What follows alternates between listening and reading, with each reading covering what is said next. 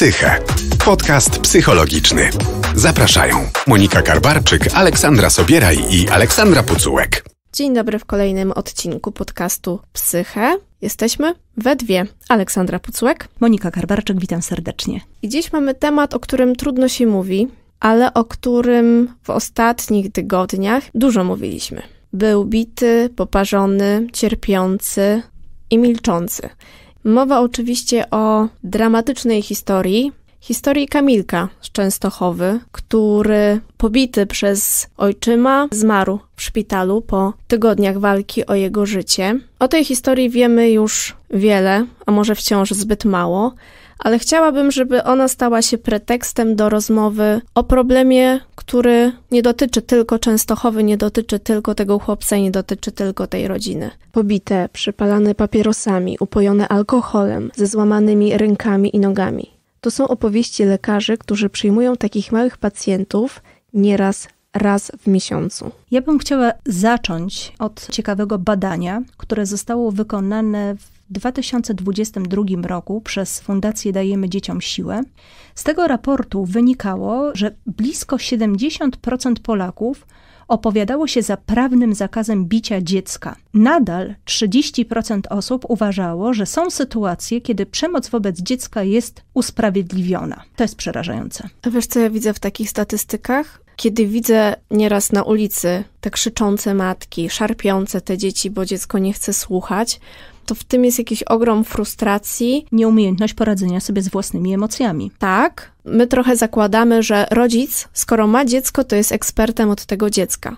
Bardzo często błędnie zakładamy, że dziecko jest własnością rodzica. Nie, nie jest własnością i też to, że ktoś jest matką, ktoś jest ojcem, nie oznacza, że potrafi, że wie, jak być tym rodzicem. A po drugie, przez tę historię Kamilka trochę wraca pytanie, dlaczego w Polsce jest tak, że musi się coś stać, żeby ktoś zareagował. My po prostu boimy się, widząc krzywdę dziecka, zwrócić uwagę rodzicowi, bo wychodzimy z założenia, że to nie jest nasza sprawa. Ja mówię tak ogólnie oczywiście.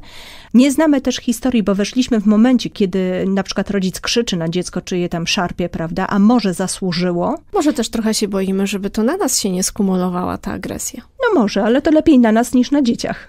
Inne myślenie jest takie, że jeśli słyszymy, że temu dziecku częściej dzieje się krzywda, to sobie myślimy, no tak, no mogę to zgłosić na przykład na policję, no ale co powiedzą wtedy sąsiedzi? Że jestem konfidentem, że donoszę. I to są wielopokoleniowe zaszłości. Tak, oczywiście. Czasami podejście i powiedzenie, przepraszam, która jest godzina, albo przepraszam, jak dojść do ulicy, nie wiem, Puławskiej, jest już wystarczającym wtrąceniem, który wybija tego rodzica. Odwraca uwagę. Odwraca jego uwagę od dziecka. I wtedy można porozmawiać, ach, widzę, że jest pani zdenerwowana, pociągnąć tę rozmowę. To mówimy o jednej rzeczy, czyli o ludziach, którzy żyją obok albo przechodzą ulicą i widzą, ale też zastanawiam się, nad obojętnością pewnych instytucji, które z definicji powinny się zajmować opieką nad dziećmi.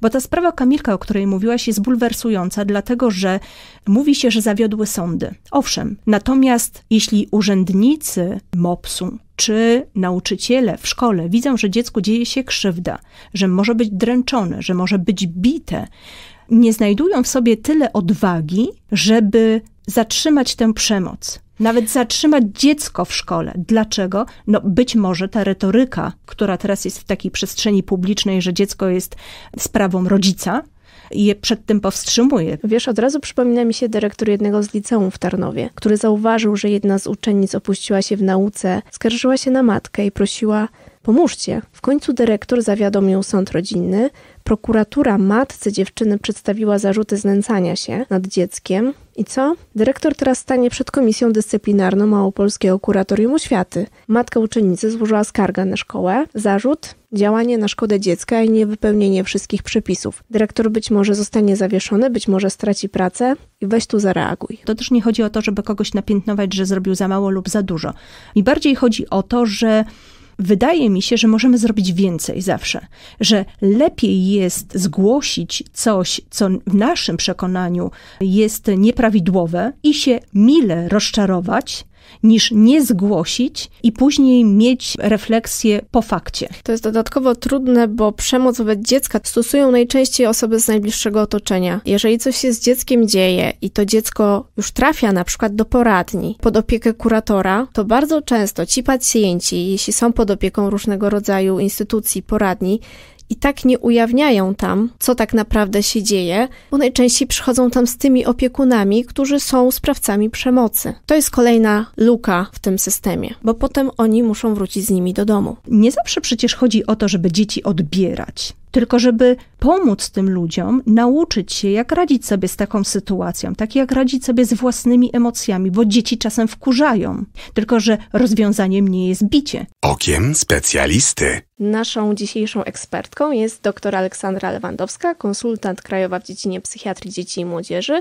ordynator oddziału psychiatrycznego dla dzieci w szpitalu imienia Józefa Pamińskiego w Łodzi. Dzień dobry. Witam Państwa serdecznie, witam Pani redaktor. Ile pacjentów z doświadczeniem przemocy przyjmuje Pani na oddziale rocznie, miesięcznie? To jest ponad 90% naszych pacjentów. Oddziału stacjonarnego, dziecięcego, młodzieżowego, dziennego. Statystyki, jeśli chodzi o leczenie ambulatoryjne, są mniejsze niż w oddziale stacjonarnym czy dziennym, natomiast są przerażające. Nie mamy teraz dziecka, nie mamy nastolatka, które by nie doświadczało przemocy. I to jest tak, że niekiedy już mamy informacje, nawet podczas badania w Izbie Przyjęć, gdzie wzywamy odpowiednie służby, najczęściej zawiadamiamy od razu policję, bo często jest tak, że przyjmujemy pacjenta, a wiemy, że na przykład w domu są pozostałe dzieci, albo przemoc jest ujawniana w trakcie procesu diagnostycznego. To jest przemoc rodzinna, czy to jest też przemoc rówieśnicza? I rodzinna, i rówieśnicza. Jakbym miała tak e, średnio oszacować, opierając się na naszych pacjentach, to mniej więcej 60% to jest przemoc e, rodzinna, Rodzina też mam na myśli, bo zdarzają nam się pacjenci, którzy są podopiecznymi, czy pogotowia opiekuńczego, czy ośrodka socjoterapii, czy domu dziecka, teraz z, zmiana z domów dziecka na ośrodki opiekuńczo-wychowawcze, czy no, rodzinnych domów dziecka. Niestety takie sytuacje też występują. W jaki sposób dzieci zaczynają o tym mówić? Niezwykle istotna w kontakcie z tym dzieckiem i nastolatkiem jest uważność po stronie osoby dorosłej. Czy to lekarza, który bada to dziecko w izbie przyjęć, czy nauczyciela w szkole, czy pedagoga w szkole.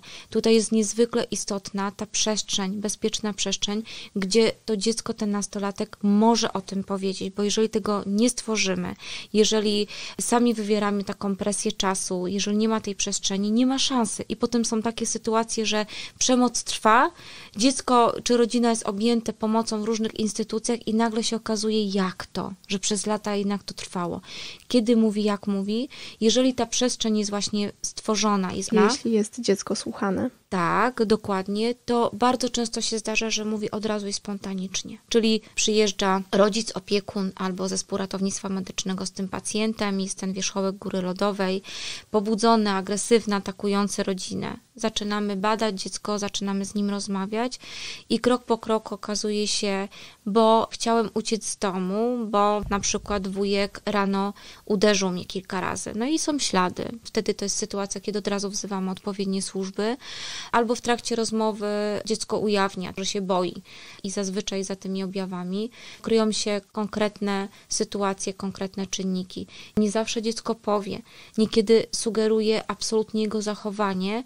Nam jednak prawdopodobieństwo doświadczenia przemocy, czyli unika kontaktu wzrokowego nie dlatego, że ma diagnozę zaburzeń ze spektrum, tylko jest takim lęku, w napięciu. I to całym ciałem obrazuje, jakby czujemy to. Albo nawet na mały ruch odsuwam krzesło od stolika i to dziecko razem ze mną w takiej ciągłej gotowości, takim napięciu, albo się odsuwa, albo nagle zakrywa ręką głowę, albo próbuje się odruchowo, bo dźwięk jakiś się pojawił, schować pod biurko, czy nagle się wystraszy i impulsywnie chce wybiec z gabinetu. Więc te reakcje mogą być przeróżne. Każdy element jest dla nas bardzo ważny. Czy na przykład sytuacja jest cisza nocna i pierwsza noc i dzieci kładą się spać, personel gasi światło i nagle dziecko zaczyna płakać albo ucieka z tej sali, nie chce być w tej sali. Potem się okazuje krok po kroku, że na przykład był zamykany gdzieś w ciemnym pomieszczeniu i się boi ciemności. W jakim wieku to są dzieci? Przerażającym jest fakt, że mamy coraz młodsze dzieci przyjmowane do oddziału.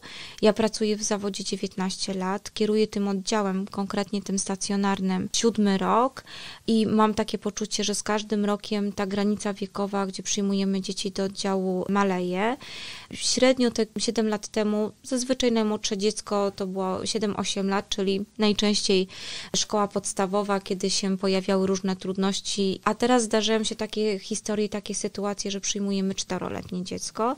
To są rzadkie sytuacje, ale jak pani mnie pyta najmłodsze dziecko, to uczciwie odpowiadam. Ta granica niestety przesunęła się. W jaki sposób to zauważyć? Jeszcze przed etapem szpitala przecież możemy zareagować. Tych sygnałów może być bardzo wiele.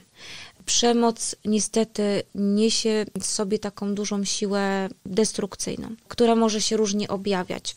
Objawem doświadczenia przemocy mogą być również zachowania przemocowe ze strony dziecka, bo jeżeli on doznaje przemocy ze strony dorosłych, na przykład w swoim domu rodzinnym i nie ma absolutnie żadnej możliwości odreagować emocji, a przecież wiemy, jest w lęku, jest w przerażeniu, ale jest też w złości, może być też w nienawiści i nie ma tej możliwości w żaden żaden sposób odreagować, to ono odreaguje. Nie wiem, na słabszym koledze, czy na innej sytuacji w szkole, czy w przedszkolu. Ale mogą też się pojawić zachowania głównie związane z zaburzeniami depresyjnymi czy lękowymi, czyli dziecko się wycofuje, unika w ogóle jakby kontaktu z otoczeniem, albo właśnie staje się depresyjne, albo pojawia się regres, czyli na przykład u dziecka, które opanowało trening czystości, nagle pojawia się moczenie mimowolne.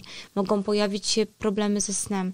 Jeżeli jest przemoc fizyczna, to absolutnie rane, zbyt częste pojawianie się zasinień. Oczywiście dzieci, zwłaszcza małe, aktywne są w ciągu ruchu, czyli te zasinienia mogą się pojawić, ale jeżeli mieliśmy kiedyś dziecko, które przyjmowaliśmy do oddziału, wyraźnie miało na łydce śladek po pasku, czy na ręku śladek po kablu, czy częste urazy, a dziecko nie ma diagnozy jakiegoś schorzenia, które by wiązało się z urazami, to nie możemy przejść wobec tego obojętnie. Osoby z zewnątrz też mogą to zauważyć. Absolutnie. Taki obowiązek nakłada na nas kodeks karny, na każdego obywatela dorosłego, tak powiem językiem trochę prawnika, czyli każdy dorosły, który poweźmie informację, że dziecku, czyli małoletniej osobie, w myśl naszego prawa rozumiemy to do 18 roku życia, że jest zagrożone, czy jest podejrzenie przemocy każdego rodzaju wobec tej małoletniej osoby, powinien zawiadomić odpowiednie organy. Tylko brakuje tej profilaktyki, bo niekiedy rzeczy oczywiste dla nas, dla części osób dorosłych naszego społeczeństwa, wcale takie oczywiste nie są. Gdzieś część naszego społeczeństwa ma nadal przyzwolenie na przemoc wobec dzieci, a one są bezbronne. I jak słyszę nieraz takie przykazy, przecież klaps to nie przemoc, przecież kąśliwa uwaga to nie przemoc. Drodzy Państwo, jestem lekarzem i nie chcę się wdawać w szczegóły związane z przemocą, co się dzieje na poziomie komórkowym, w każdej części naszego organizmu, do jakich zmian dochodzi. To jest udowodnione naukowo, jak zmienia się biologia mózgu, jak zmienia się struktura mózgu. To badania obrazowe wyraźnie ukazują, jeżeli mamy sytuację, kiedy ktoś doświadcza w taki przewlekły sposób, a takie rzeczy się dzieją tej przemocy. Konsekwencje są naprawdę daleko idące. Kto najczęściej bije? Kto najczęściej stosuje przemoc w rodzinie? Jeszcze wcześniej, przed pandemią, wskazywały na to, że częściej jednak osoby osoby dorosłe płci męskiej, jeżeli chodzi o rodziców, to tata. Teraz praktycznie te dane porówno, że zarówno i mama, i zarówno i tata. Osoby, niestety to jest przykre, z najbliższego otoczenia. Dziadkowie, wujek, ciocia, te osoby, które są gdzieś blisko tego dziecka. I chcę to podkreślić, że nie ma żadnego usprawiedliwienia, bo my dorośli jesteśmy za te dzieci odpowiedzialni. I jeżeli ja często jak spotykam się z rodzicami i wyraźnie mówię, że jeżeli ty drogi rodzicu, czujesz, że nie radzi sobie z tymi emocjami, czyli ten poziom pobudliwości u tego rodzica jest bardzo wysoki i reakcja wtedy gwałtowna jest znacznie szybsza niż u rodzica, który nie ma takiej tendencji, takich skłonności, to zacznij nad sobą pracować, szukaj rozwiązania, ale no, mało jest takich sytuacji, że ten rodzic jednak poszukuje, chociaż i są takie, które poszukują.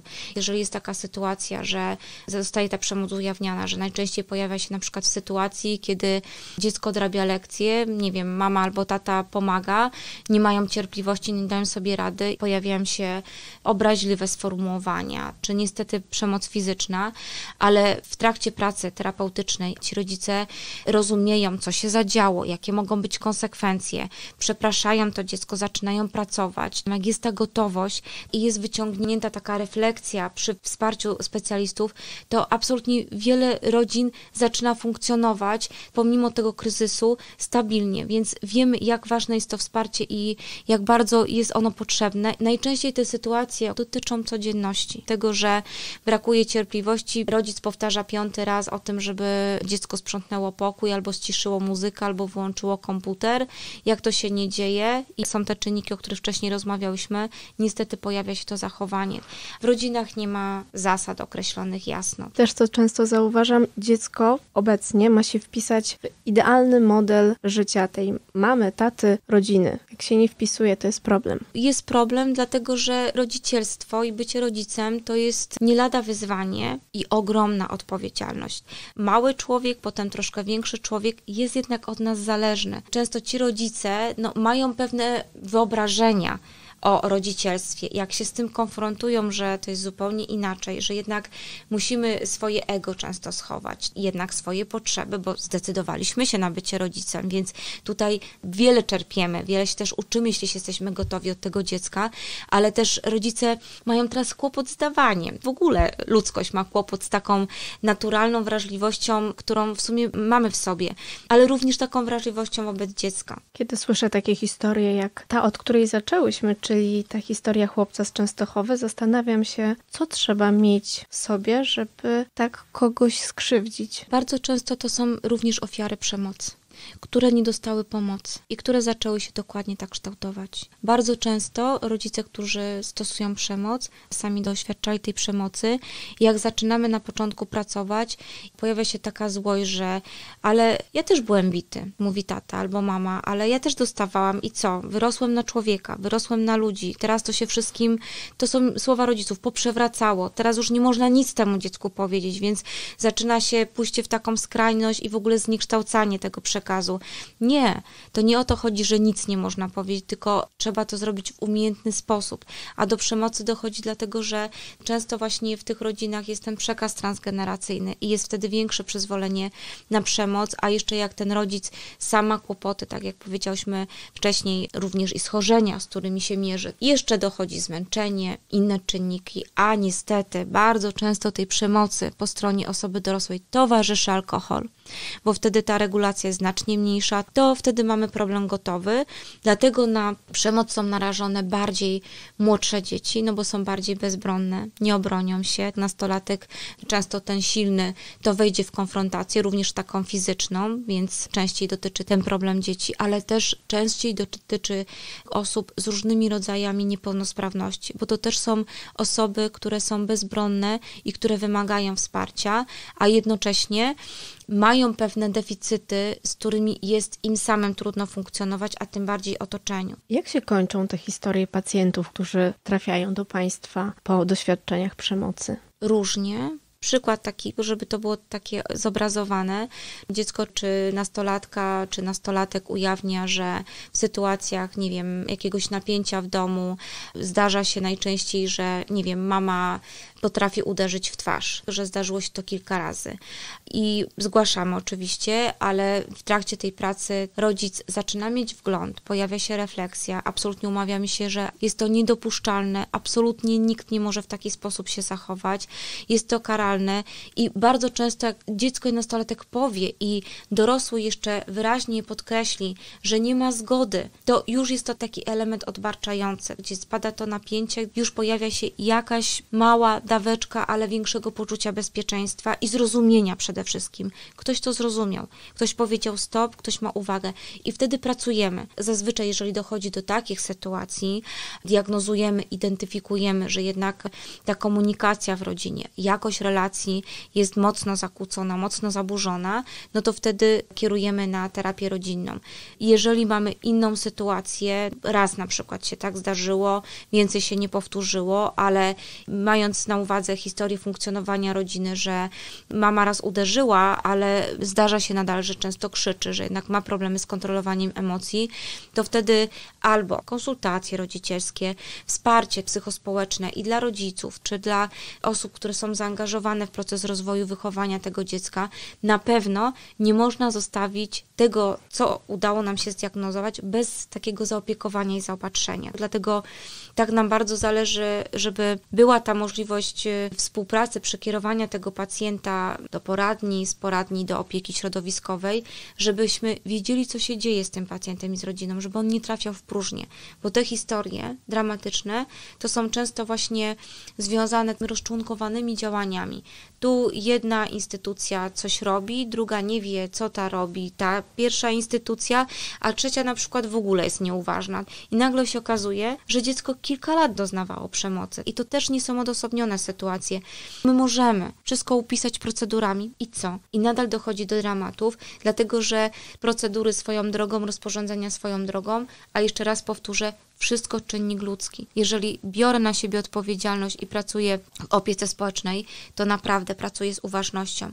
Jeżeli jestem lekarzem, to w trakcie badania tego pacjenta pracuję z należytą uważnością. A zdarzają się takie historie, że dziecko nie wraca do rodziny? Oczywiście, że tak jeżeli te zachowania przemocowe trwały miesiącami, czasami niestety latami, ale jeżeli jest to taka sytuacja, że dziecko jest przyjmowane, widzimy ślady, jest bardzo duże ryzyko, że ten rodzic, czy nie wiem, wujek, czy ojczym powtórzy takie zachowanie, kierujemy tę sprawę, zawsze kierujemy do odpowiednich organów i tutaj sąd podejmuje decyzję. I zdarzają się takie sytuacje, że przyjmowane dziecko z doświadczeniem przemocy, kiedy jest zbadana sprawa, no niekiedy to jest długi proces oczywiście, to też są dla nas trudne, przeciągające się sprawy. I co no, wtedy dziecko pozostaje pod Państwa pozostaje opieką? Pozostaje pod naszą opieką, wraca do miejsca, które akurat ma wolną przestrzeń. Albo pogotowie opiekuńcze, dom dziecka, jeżeli jest rodzina zastępcza, to rodzina zastępcza.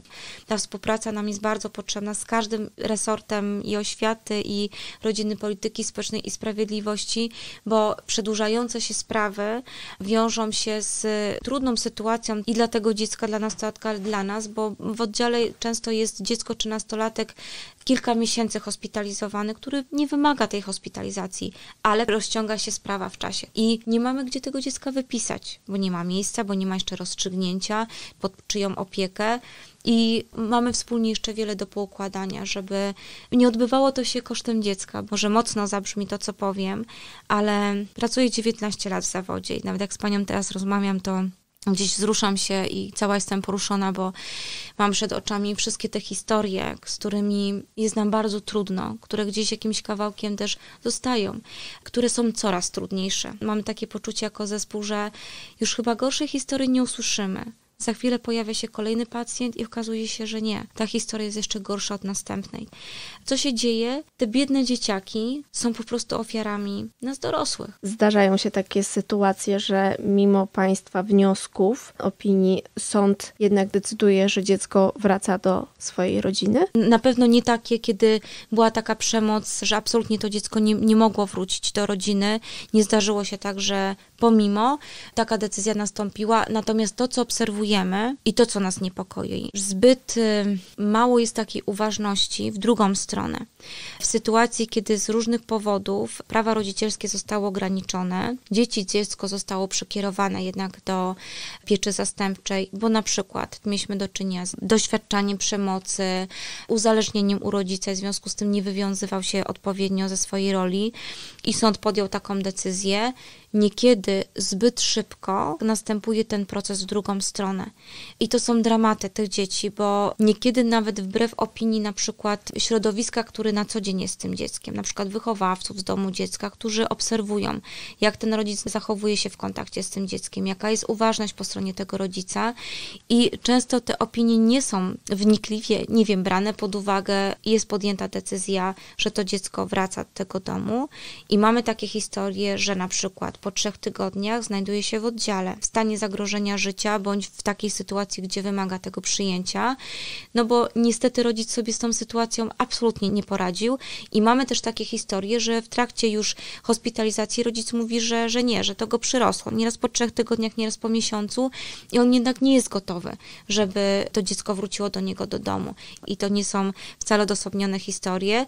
Niestety, ponownie trzeba umieścić to dziecko w pieczy zastępczej i nagle to dziecko traci miejsce, na przykład w tym domu dziecka, które zna od trzech lat. Więc to jest ciągle proces adaptacji i ciągle w takim poczuciu odrzucenia, braku poczucia bezpieczeństwa. Więc ja tak apeluję o taką uważność i taką wnikliwość, bo w każdej grupie zawodowej znajdziemy taką osobę, która jest niesamowicie oddana, uważna, wnikliwa, ale też taką, która podejdzie w sposób nie do końca taki, jaki powinien być. I potem mamy kłopot głotowy, bo ja często mówię, jeżeli sędzia nie wejrzy wnikliwie, to się kończy postanowieniem, które niestety może być krzywdzące dla dziecka. Jeżeli lekarz biegły nie podejdzie wnikliwie do swojej pracy i potraktuje to badanie i tę opinię po macoszemu, to ten sędzia z kolei się oprze na tej opinii i wyda orzeczenie, które może być absolutnie nieadekwatne. To pytanie już zadałam pani, pamiętam przy okazji naszej poprzedniej rozmowy, ale wciąż się zastanawiam, więc do niego wrócę. Jak to się dzieje, że do tego wszystkiego dochodzi w kraju, w którym podobno dziecko jest na piedestale, jest chronione od samego początku? Jak to się dzieje, że w ogóle do tego dochodzi? To może przewrotnie powiem, nie jest na piedestale i nie jest od samego początku, bo wszystko to, co jest dookreślone w różnych ustawach, nie do końca funkcjonuje w rzeczywistości. Jeżeli mówimy o tym, że dziecko jest najważniejsze, nasza rzeczywistość byłaby odzwierciedleniem tego hasła, nie byłoby takiej ilości zachowań samobójczych wśród dzieci i młodzieży, nie byłoby takiej wzrastającej liczby tych dzieci i młodzieży, która potrzebuje tej opieki. Nadal gdzieś w nas dorosłych, nie chcę generalizować, ale niestety w dorosłych pokutuje takie przeświadczenie, przecież my wiemy lepiej.